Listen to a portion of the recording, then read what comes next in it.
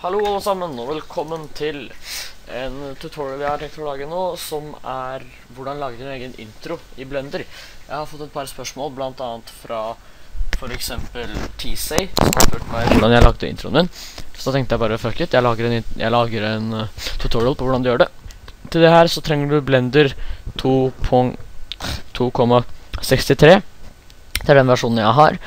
Og når du åpner den, så får du den skjermen her. Du har den her hvor du kan ta sånn forskjellige linker og recent project og sånt. Og masse de der. Bare ta pre Ikke gjør noe med den. Så bare trykker du utenfor den lille boksen, så havner du på hovedmenyen her. Hovedviewingen.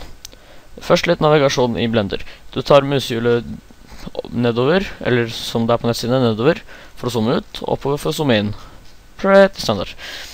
Så holder du inne musehjulet, eller museklikk, og beveger musa rundt for å, ja, for å rotere kameraet hvor du ser, da. Men det er ikke hvor animasjonen din er. Det her er et kamera. Det kan du se hvordan det er ved å trykke på 0 på numpad, for man trenger numpad til det her. Ser du, det er sånn her kameraet ser det nå. Og her, det her er litt lys. Det er det som gir lyset til Som viser lyset. Så hvis du trykker F12, så kan du se hvordan det blir rendra på en måte. Hvordan det ser ut når du er ferdig med prosjektet. Så hvis jeg trykker F12 nå, sånn ser det ut. Fordi lyset kommer fra her oppe. Kommer ned her. Her er det helt svart fordi det er helt motsatt side. Lyser litt der, litt der, litt mindre der. Og det er det som gjør skygge. Det er det som lager skygge. For hvis du ser her, så skifter jo hvor lyset er mens jeg roterer kameraet. I hvert fall. Når du skal lage en intro, så er det kameraet her Det er litt sånn rar posisjon til å lage en introduksjon. Da, for du skal helst ha tekst som beveger seg, ikke sant? Da må du ta og rotere på veggen eller på blokken der. Og det er ikke sånn kjempemoro. Så for å, for å velge noe, så høyreklikker du på det. Så nå har jeg valgt lyset, nå har jeg valgt kamera, nå har jeg valgt boksen. Så det der er at du velger høyreklikker på lyset, trykker på X, trykker på delete. Samme gjør du med lyset. Nei, kamera mente jeg først. Sånn, og så trykker du på 1 på numpad for å komme i horisontalt view. Space for å søke. Skriver du inn camera. Og add camera. Det er ikke vanskeligere enn det. Da har du et kamera der, hvis du roterer deg rundt. Men det sitter midt inni boksen fordi det starter på midtpunktet. Så tar du den grønne, holder den grønne pilen, som er Y-aksen. Og den beveger da bare på Y-aksen. Ikke opp, og ikke til de sidene der. Bare på Y-aksen. Flytter du den sånn cirka her, ser greit ut. Trykker du på 0 på numpads, du ser hvor den er, så kan du høyreklikke på boksen. Så når du trykker på S, da er du på resize. Nå er den veldig mye større, og nå er den mindre. Men problemet med vanlig S, det er at hvis du ser her, hvis jeg tar S nå, så blir hele boksen større i alle. Det er ikke så veldig, det er ikke så bra. Vi har boksen ganske tynn, så da begynner vi der. Og for å gå ut av den der S med den pilen og sånn, så bare vanlig venstreklikker du. Hvis du tar S og så X, så gjør du bare størrelse om på X-aksen. Som er den aksen her. Så hvis vi går i kameramodus, så er XX Det er på den aksen her.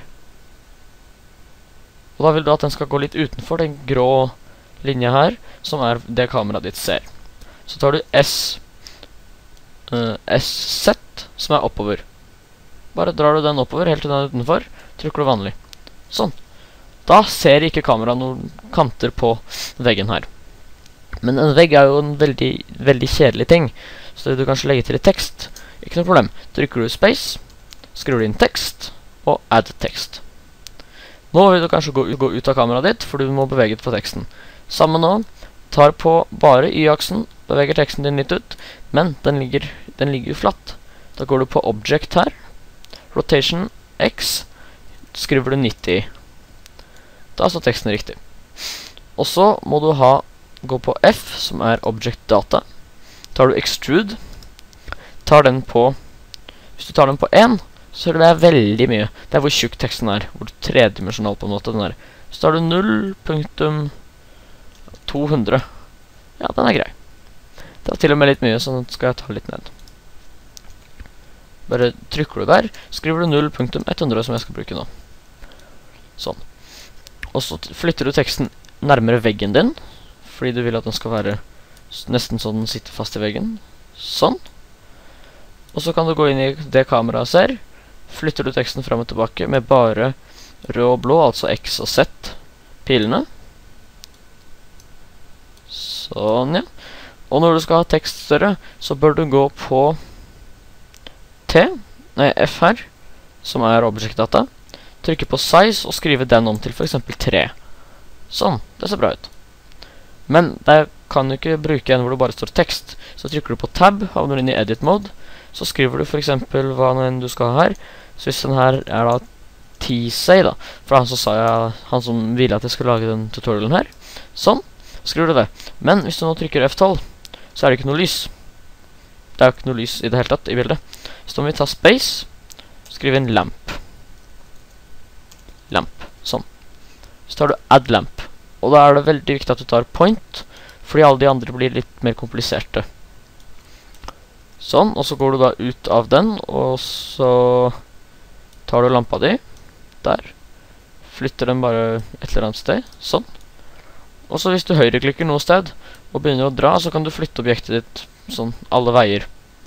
Så hvis du gjør sånn, da, da ser du, du ser så vidt teksten, fordi det er samme farge. Nå har jeg et lys der, så det er vel og bra. Men det lyset, det er litt sånn rar posisjon, så det tar jeg tar ned, flytter over til midten. Det er da jeg synes det ser morsomt ut, for da får du skygger utover sånn. Og så, ja, jeg tar og flytter litt mot meg også, ja. Sånn. Trykker jeg på 0 for å havne inn her. F12. Det er jo samme farge. Det går ikke. Høyreklikker du på teksten. Trykker du på den. Material. New. Så trykker du på den her. Diffuse. Så kan du velge den farge. Så jeg likte den fargen her, jeg, da. Ja, den synes jeg var grei. Sånn. Så kan du ta boksen bak. Akkurat samme. På material. New. Diffuse. Siden den skal stå i kontrast, så kan den være litt mer mørkerød. Sånn. Skal se hvordan ser det ut nå, da. F12. Det er så mye bedre ut. Men lyset er fortsatt litt sterkt. Så hva om jeg går ut? Så tar jeg Oi, ikke boksen, men lyset der. Tar jeg det litt høyere opp her? Hvordan ser det ut? Det så bra ut. Sånn. Men nå, har du bare teksten. Du har ikke noen animasjon til den. Hvis du ser her, så er det en tidslinje her. Det går per frames, så her er det 30 frames. 30 frames er vanligvis 1 sekund. Det kan du skifte om på hvis du trykker på kamera her, render, så tar du her. Ta det på 30. Da har du 30 frames, det er 1 sekund. Så kan du gå videre til 60 frames, da har det gått 2 sekunder, ikke sant? Men tingen er at Blender fungerer med keyframes.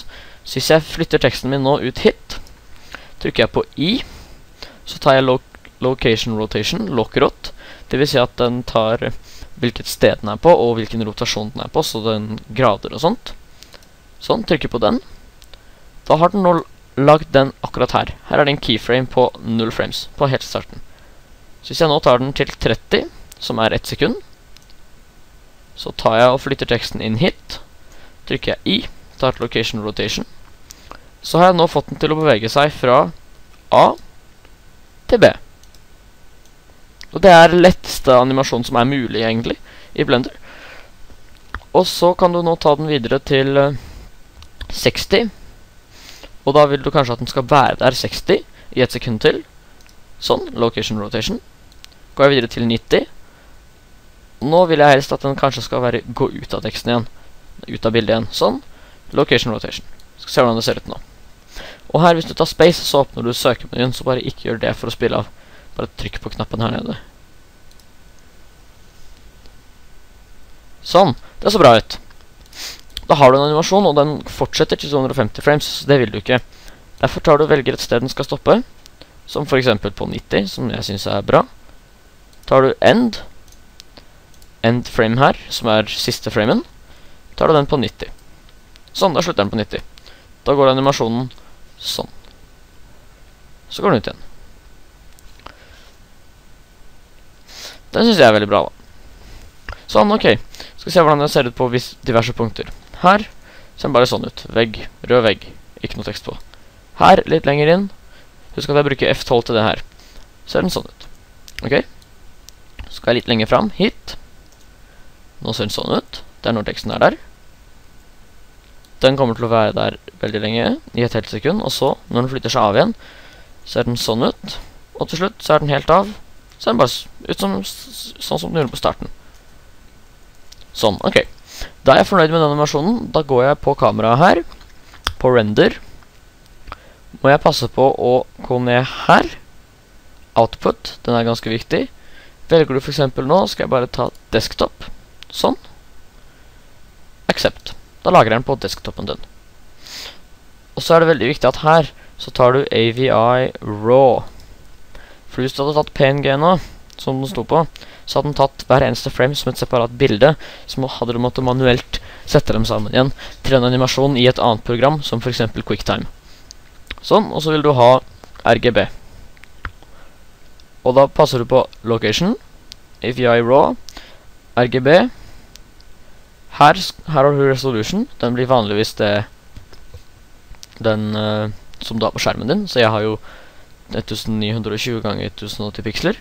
Så tar jeg den på 100% for da får jeg full 1080p oppløsning. Aspect ratio tar du helt samme. Frames per second 30.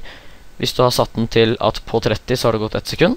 Eller så kan du ta den på for eksempel Du kan ta den på 25, men da går det til 50 på 1 sekund. Da må du ta passe på det. Da går den til 25 på 1 sekund, og så går den 50 på 2 sekunder. Og da ville den vært ferdig på 75. Mens jeg har 15 frames til, fordi jeg har 5 frames til per sekund. Så bare pass på å ta den på 30. Det går jo an å ha sånn 60 frames per second, men det er bare hvis du vil ha ting som går i slow motion, f.eks. Sånn. Pass på at du har alt det riktig. Alle farger, alt sammen. Tar du bare animation her.